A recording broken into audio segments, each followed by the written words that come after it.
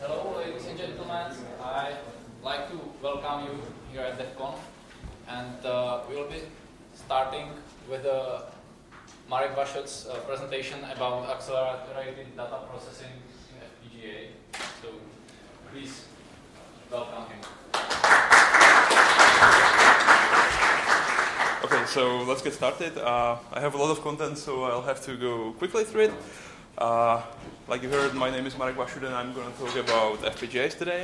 Um, I work at DENX Software Engineering, which is a small company in Munich. We do embedded Linux, uh, bootloader stuff.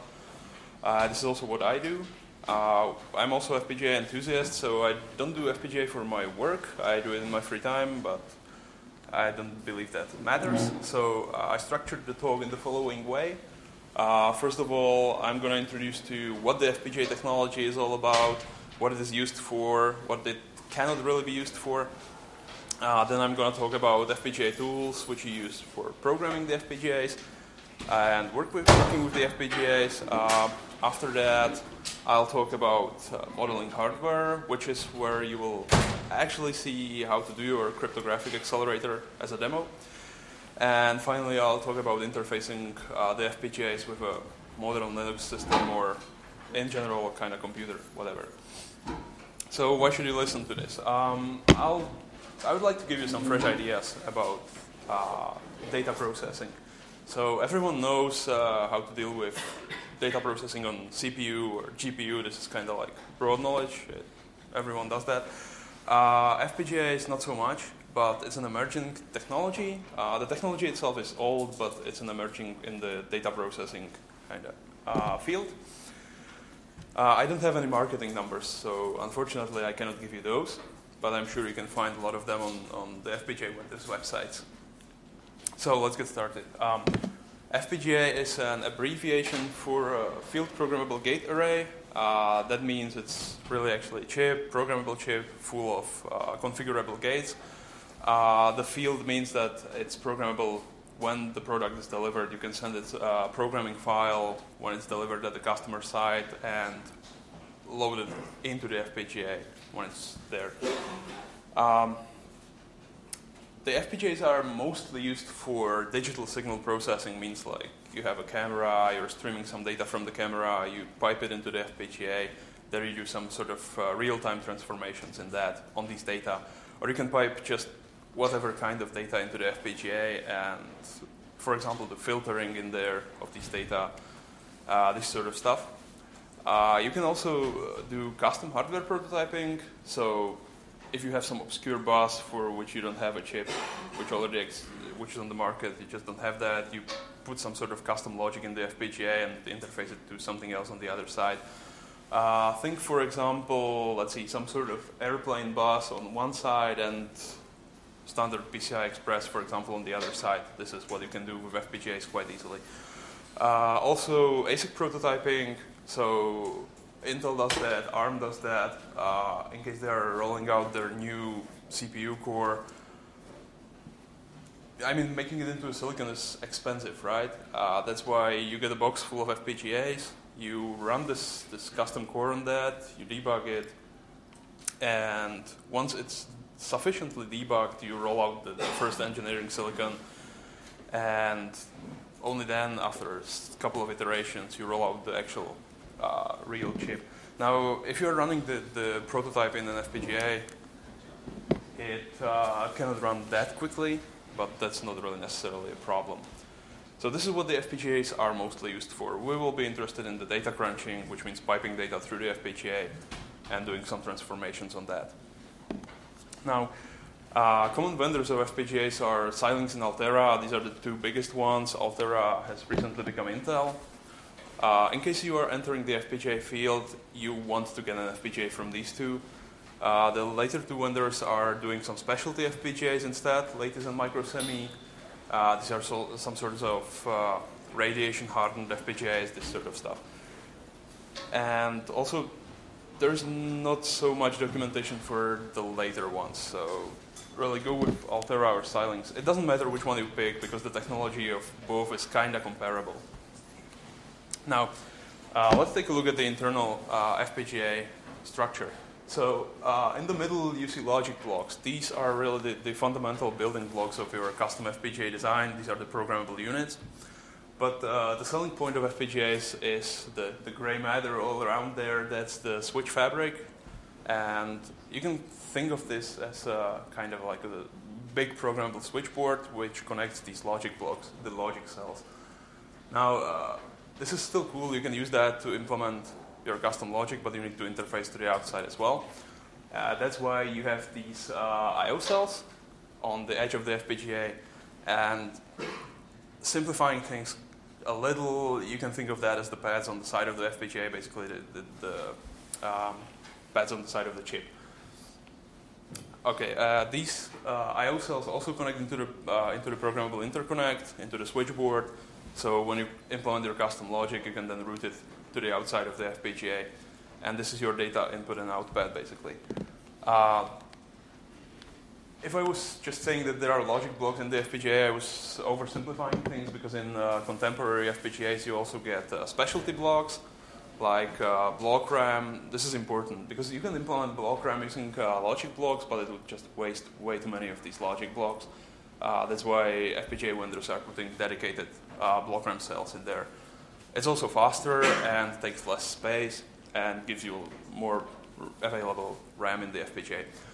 Uh, you also get DSP cells. Usually these are embedded multipliers, like 9 by 9 or 18 by 18 embedded multipliers. And again, these are faster, waste less resources in the FPGA if you have a dedicated block for that. Uh, all these specialty blocks are connected into the programmable interconnect, so you just can implement your logic in the logic blocks and then route it through the multiplier to do your mathematics operation, and then just route it back into the logic or route it outside. Uh, you also have specialty I/O blocks. Uh, for example, in case you don't want to do just standard digital logic like uh, ones and zeros, but you want to do differential stuff like you know USB, PCI Express, this sort of stuff, you have dedicated uh, serialization, deserialization blocks on the edge of the FPGA. And also, you get some dedicated, really hard logic blocks like PCI Express, uh, root port implementation, PCI Express endpoint implementation there, again, to avoid wasting the, the precious I.O. cells, uh, sorry, the precious logic blocks.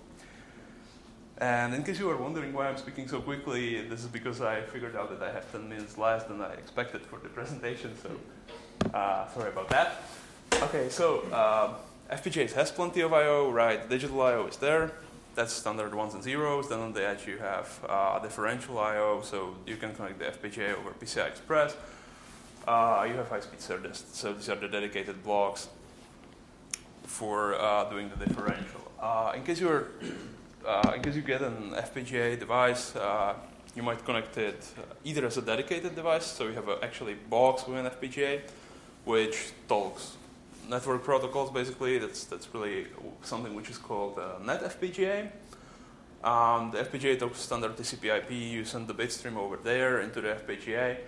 Uh, it probably has a dedicated coprocessor in there somewhere, which loads the bit stream into the FPGA. And you can synthesize uh, Ethernet adapter, for example, in the FPGA, and then you just pipe data into this FPGA box over the network. And this is really convenient because you can have it in the rack. You can have multiple of them in the rack, you know, and it doesn't take that much space.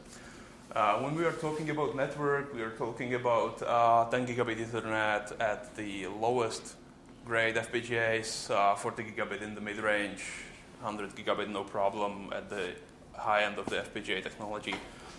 Uh, also, coming FPGAs with the 14 nanometer process will probably be 40 gigabit, uh, sorry, 400 gigabit capable. So this is the sort of stuff you can do with that. Uh, the other option is uh, to have a standalone FPGA card.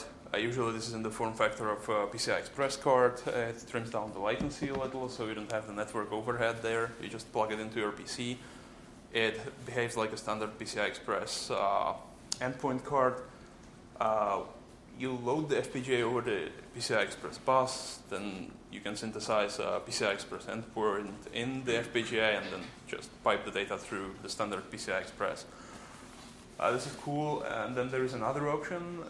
First of all, at uh, like 10 years ago, Xilinx came up with uh, an FPGA attached to uh, CPU bus, CPU frontside bus, and these were two dedicated chips. So at that point, PowerPCs had the, the front side bus exported, and they just placed FPGA on that. Uh, this is great. This worked at that time, but uh, the, the CPU bus was getting wider and faster, and it was no longer possible to electrically do that. So what came out of this is an uh, SOC FPGA or Zynq chips, which have a, a, mostly it's an FPGA, but on the side of that is a GLUed, a small ARM core, and the ARM core is connected to the FPGA over some wide, fast bridges. It's on the same uh, physical chip, not the same die, but the same physical chip. So this avoids the, the problems of routing the signals between the, the CPU and the FPGA. Now, this is not really useful for data center setting because the FPGAs are usually like mid-range tops. So there are talks that now that Intel actually acquired Altera, they are coming up with a Xeon with an FPGA, uh, but this is really what's uh, in the use. I don't know any specific details on that, but it might be coming, right? Especially in the data center setting, this would be interesting because you can offload the, the computationally heavy tasks onto the FPGA, the repetitive tasks on the FPGA. Now, uh, let's take a look at the logic element. Uh, setting of uh, the logic element which is used in the FPGA, it's the smallest building block. It's actually pretty simple. The, the schematic is way too uh, detailed, but there's not really that much uh, to worry about. Actually, you have a, a lookup table here on the left, and it has often four data inputs. Uh, the four data inputs are connected to the programmable inter, to the programmable interconnect, right? And in the lookup table, uh, you can configure whatever logic function, Boolean logic function of these four inputs, and it has one output. So for each 16 combination of, of these four inputs, you configure whether you get one or zero at the outside of the, of the lookup table. Now, uh, the output of the lookup table goes directly either to the programmable interconnect or it can go into a register. You can kind of ignore this, this bit here for now it goes into a register, and this allows you to implement both combinatorial and sequential logic. And the output from the register then goes again to the programmable interconnect. Now, uh, the difference between, uh, between combinatorial and sequential logic is actually pretty simple. Combinatorial logic is not synchronous to clock. Whatever you have on the in input, if that changes, you already have the change uh, on, the, on the output of that. Uh, sequential logic is synchronous to clock.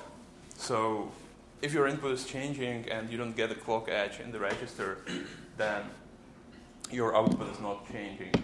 Uh, there are issues which are called uh, metastability in case your input changes close to the clock edge of the register, but I don't want to get into that way too much because this, this would take another talk which would span multiple hours. There's a lot of research going on in the metastability field. Uh, but in case you are entering the FPGA uh, technology, you don't have to worry about that. The FPGA tools will take care of not doing anything very funny, at least at the beginning. All right, so uh, another property of FPGAs is implicit parallelism. So uh, I was saying that the FPGA is uh, field programmable gate array, so array of gates. The FPGA is a highly parallel chip. All of the logic elements are running in parallel, right? And in case you use the, the HDLs, I'll get to that soon, um, they look considerably uh, similar to programming languages, but they don't behave that way. And this is where a lot of people who are entering the FPGA fields kind of start pulling their hair. It's getting really crazy. So, uh, in case you implemented this first snippet, first example in uh, C, for example, you would have two variables, right? And if your, if your compiler was not optimizing at all, if it was just spitting assembly, uh, then what it would do, it would check the, the first variable. If it's one, then it would do assignment, right? And then it would probably check the variable again and do a, the assignment again. Uh, if you observed what's going on there and tried it for both values of the variable, you would see that it's assigned at different time this, this bar variable, in case it really wasn't optimized at all. Now, in case in the, of the FPGA, this entire uh, statement both of the lines are executed in fact in parallel, so the FPGA is testing both 1, 0 in parallel, and then based on that doing the assignment. Because this is synthesized as, a, as an actual node in, in the logic element. Uh, the other example is even better and even more confusing. Now, um, both of the assignments happens in parallel because they are synthesized in two different logic elements. And um, in case you swap these two lines, it would have exactly no impact on the design. It would be synthesized into exactly the same thing because this just runs in parallel. Uh, now, do you have any questions about this, this crazy stuff? Yes. One dash B zero and one bit. Which one? Uh, I, I, I can't parse the syntax sort of it, so can you read what a, what Doesn't the arrow and line? apostrophe. Oh, you mean the apostrophe, this one? Yeah. So, uh, this is kind of, uh, yeah, the question is what does the apostrophe mean? So, this is kind of like Verilog, but not really Verilog, which is one of the HDLs. I didn't want to get into the details that much in here. Um, so, the apostrophe means uh, that uh, the one says it's, uh, it's a vector which is wide exactly one bit or one signal. Uh, the apostrophe is just a delimiter, and the B means it's binary. And in case we actually spoke about Verilog, then uh, this is a blocking assignment here, and this would be a register. So this would be a signal, most likely, and this would be a register which is then assigned a value. Any other questions? Uh, because this is really important. The implicit parallelism of FPGAs is really important. You should keep that in mind. No, okay, so moving on. Uh, let's talk about FPGA tools. So uh, FPGA tools are kind of in a sad state. Uh, the FPGA vendors are doing a lot of work in there in that area, and they are trying to keep all these algorithms. They use closed source, so the tools are unfortunately closed source. Each vendor has their own specific tools. Um, also, the, the bitstream format, which is the programming file for the FPGA, is unfortunately closed source. Now, uh, this is not entirely true. There are projects which are trying to open source this kind of stuff by means of reverse engineering, but the, the FPGA vendors are not very happy about open sourcing their own algorithms for obvious reasons because they are spending billions on actually developing them and they don't want other people to use them. Now, uh, the standard vendor tools are actually available free of charge and they're not that limited, so you can download them.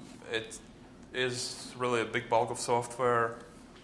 And in case you are entering the FPGA field again with uh, some sort of smaller FPGA, then the, the standard uh, free tools are not, a, not that big of a problem.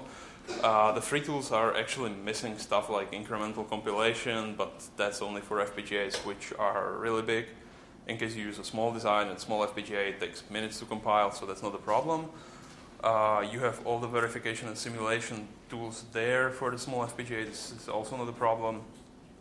Um, let's see, what is missing out? Um, yeah, that should be about it.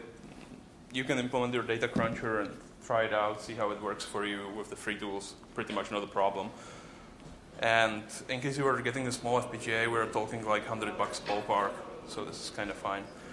Uh, once you install the tool, let's talk about the flow a little. So you generate your design, you pretty much write it, some sort of uh, hardware design, you put it into the uh, vendor tools. So what happens then when you want to, to generate the programming file? Uh, first of all, you run analysis and synthesis. At that point, uh, the, the vendor tools parse the textual representation of your design and generate some sort of netlist from that. And then they check connectivity, they check if your netlist is actually valid circuit or not. And spit out pretty much uh, some sort of high-level netlist. It contains gates and all, but it's not possible to put this netlist onto an actual physical FPGA. It's kind of something which you put on a virtual circuit. Now, uh, after that, you do place and route, and this is the first stage which knows for which FPGAs you are synthesizing, and it knows the actual physical properties of your FPGA. So it takes this high-level netlist and generates a netlist which is compatible with your FPGA. It can do register merges, it can throw away some pieces of the circuit because it doesn't make sense on that FPGA, and so on. Uh, this is also the, the most uh, gruesome part for uh, CPU. It really stresses the CPU uh, because it's, it's really, uh, I mean, it's uh, NP-complete problem, so it has to do all sorts of heuristics at that point, and it takes a long time. Now, the result of this is actual netlist which can be mapped on your FPGA, but it's not a programming file. For that, you need an assembler which reads the netlist again and generates the finally the binary file which you can program into your FPGA, so to say. Uh, there's a bit of more magic involved, but let's not get into that. Now, uh, the netlist which comes out of place on the route also can be used for timing analysis. So you go through that, you figure out whether, uh, well, timing analysis tells you which signal paths are the longest in the FPGA, and from that you can infer how fast your design can go. So timing analysis is something you want to do with your design, and in case timing analysis tells you, well, your design can run at 100 megahertz, it can run at 50, then you should run at 50. If you don't, if you like try to stress your design over what the timing analysis tells you is, is the, the maximum speed of your design, then your design will likely not work, or it will misbehave, or it will just give you wrong results. Um, now, speaking of the, of the flow here, uh, the analysis and synthesis can be done with open source tools like Icarus, GHDL, and so on. Uh, the place and the route can also be done using open source tools, surprisingly. Uh, there's uh, a lot of academic research going on in that. One of the tools is uh, versatile place and route, made at University of Toronto, I believe. So VPR, this is what you want to check. And the only really hard closed source part is the assembler. But like I mentioned before, there are some projects which are trying to change that. Like, for example, Project IceStorm. This is uh, for Lattice FPGAs, but unfortunately only for, for the small ones. Okay, so uh, how do you implement your uh, actual hardware model on the FPGA? This, this is like, this is it. Uh, FPGA, uh, to, to implement hardware model on, on, the FPGA, use HDL, hardware description language. It's a textual representation of your hardware model. Uh, there are two mostly used HDLs, Verilog and VHDL. I'll show you examples of both. Uh, the, the, vendor tools allow mixing these two, so it's not a problem to have one file in Verilog and the other in VHDL. Of course, it might be a little problematic for the hardware guys, but it's not a problem mixing these two.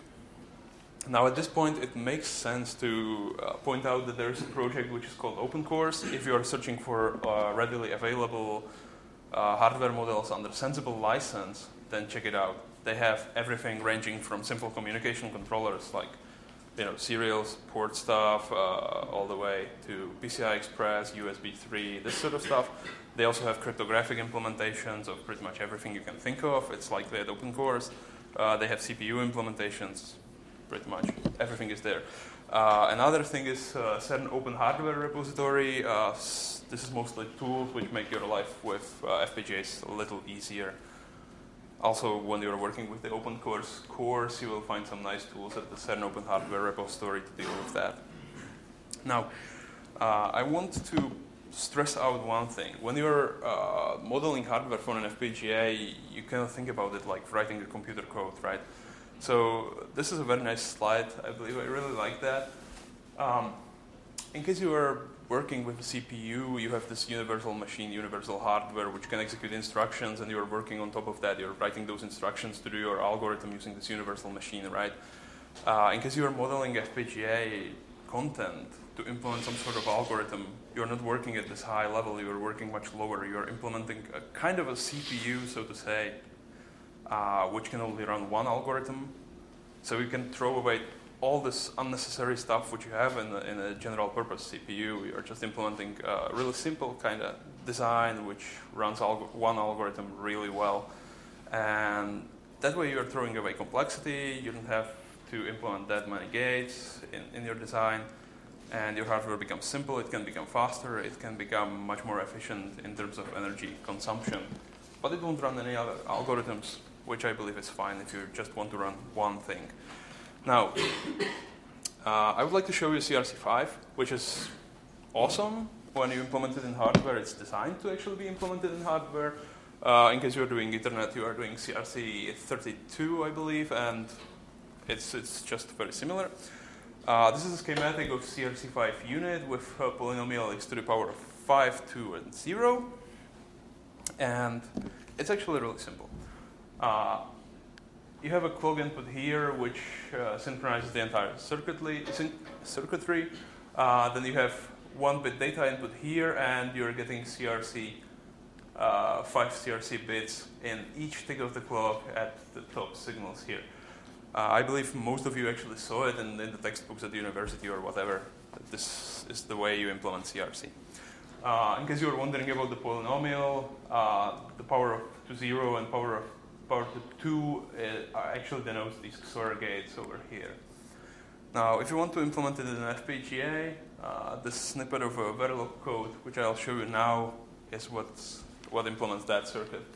Uh, I picked it from ASIC World, which is a great website in case you want to learn Verilog. There's a lot of examples, lots of beginner kind of things which you can read about Verilog. It's, it's a great website. So, um, just like I had in the schematic, I am implementing a Verilog module, which is like the, the building block in the HDL.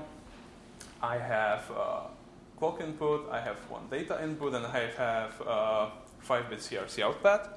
I also have a reset. That's a really good idea to have a reset of your module. Now, the main meat of it looks like that in Verilog. Uh, in case I have a positive edge of clock, I'm checking the reset. So my reset is actually synchronous to the clock. In case I have reset, then I just set the CRC to zero. In case I don't have a reset, then I'm doing the actual CRC computation. Now, um, the check for a reset and execution of, of the subsequent um, computation again happens in parallel. So uh, let's see about the CRC computation. There is a trick that here this, this stuff on the right side is actually done using a combinatorial logic. So pretty much everything is pre-computed. And when the clock edge comes and the reset is not asserted, then it's just this uh, latching which happens at that point.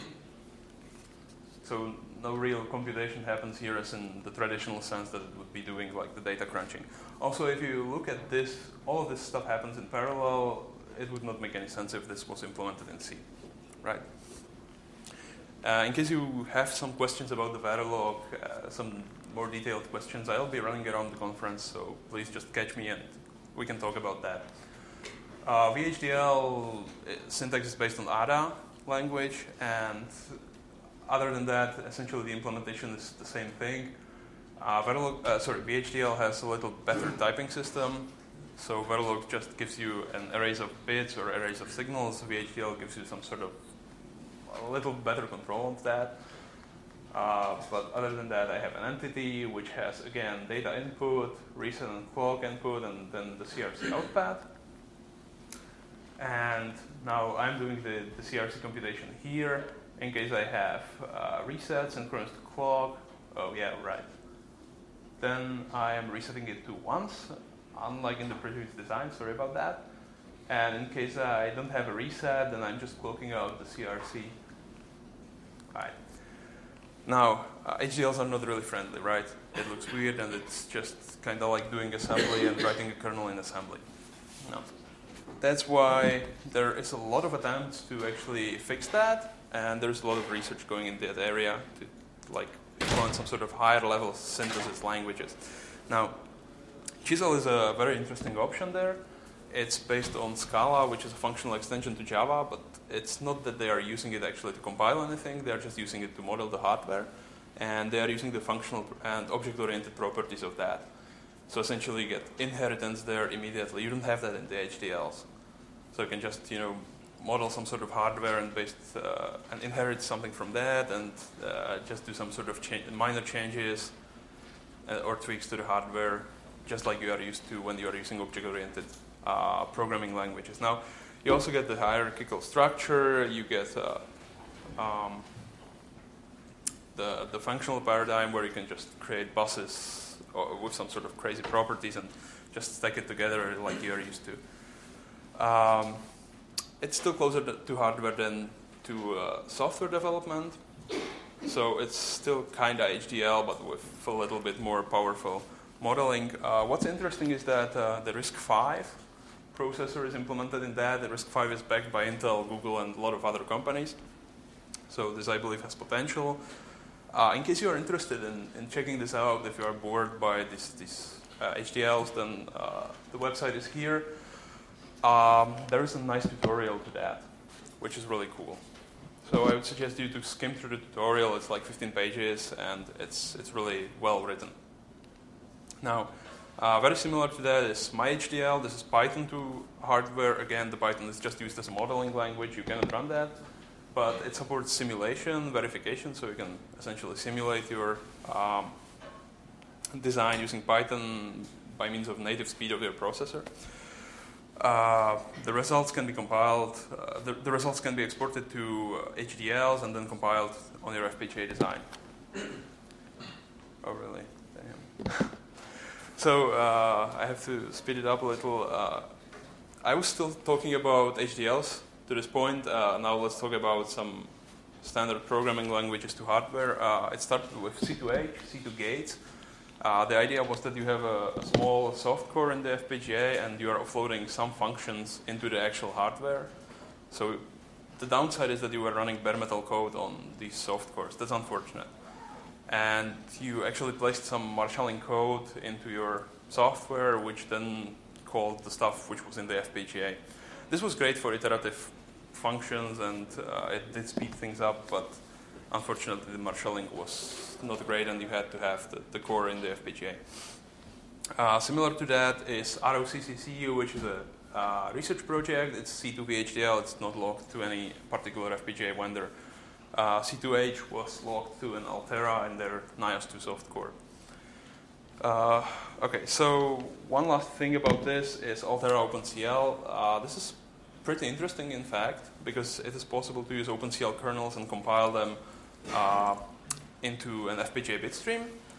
Now, the compilation takes a lot of time, so it's not really possible to do that at real time to, to actually compile the, the kernels. Uh, that's why the Altera uses the OpenCL embedded profile, which allows you to, to do the compilation of the bitstream offline and then just deliver it to, to your machine. Uh, it's closer to software because you are just implementing uh, OpenCL kernels than HDL.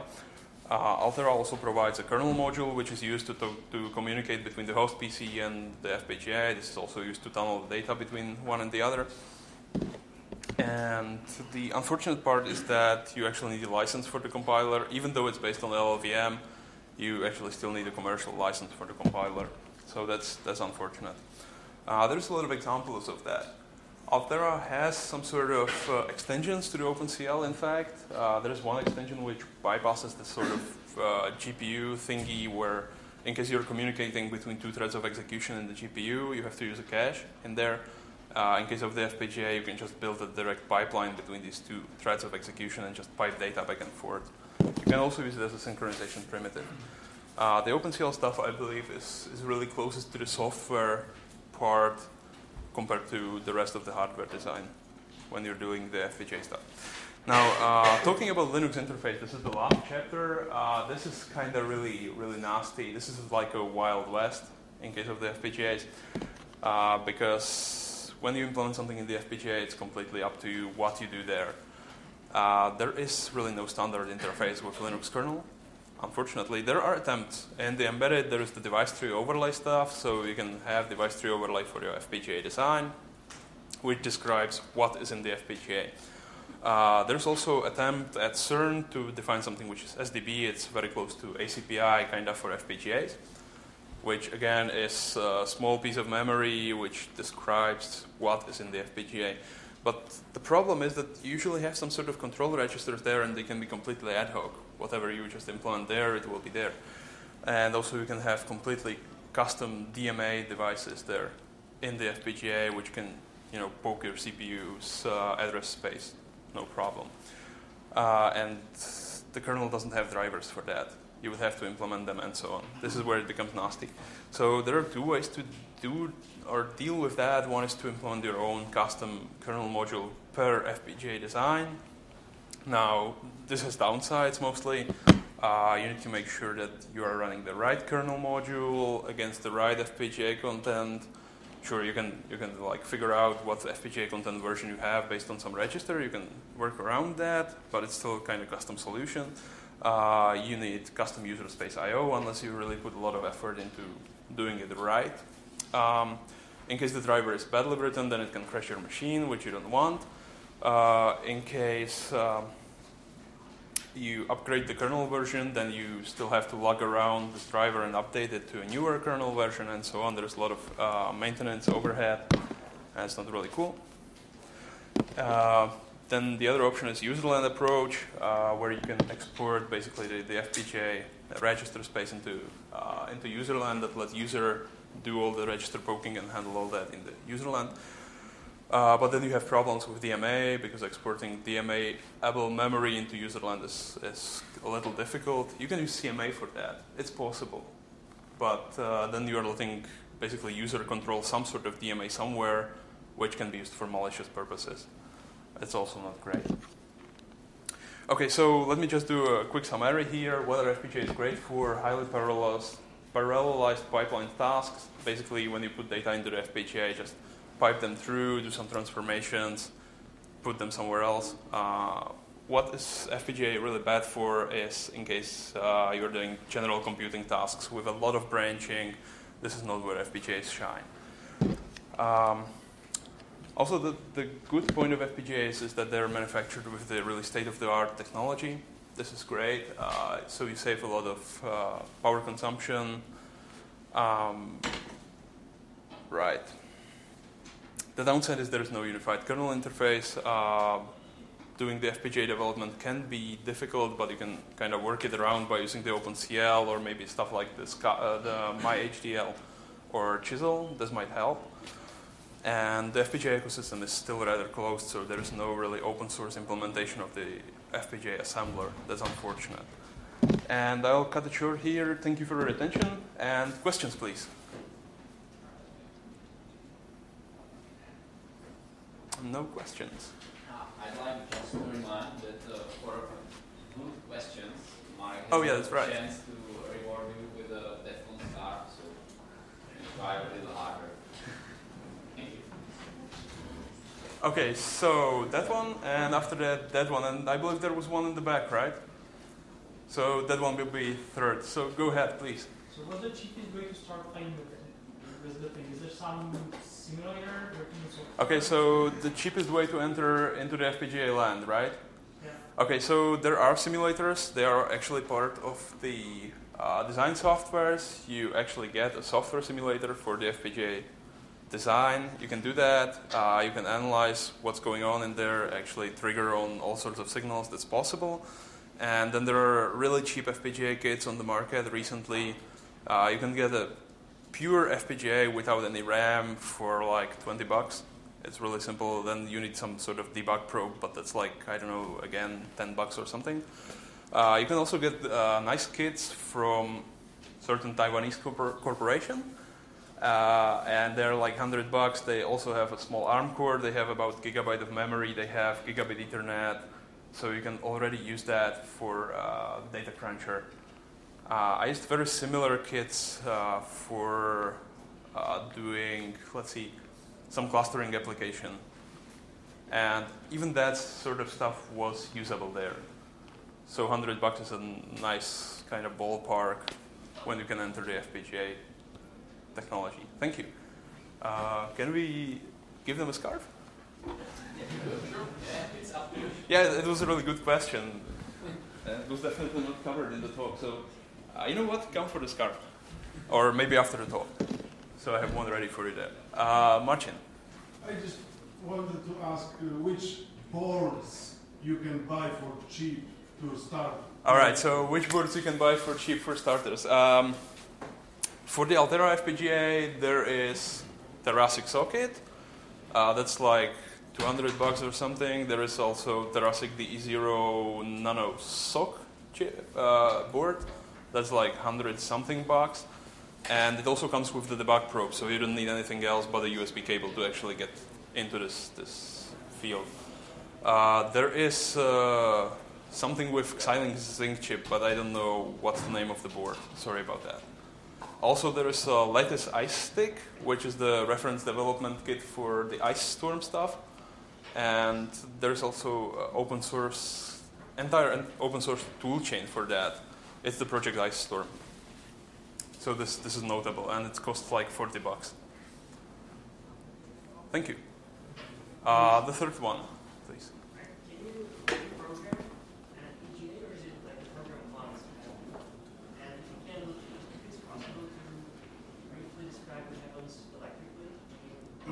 when you program the FPGA. You mean uh, what happens electrically when you program an FPGA? Okay, so yeah, I was actually planning to do an entire talk about that at another conference. That's bad, re- really bad.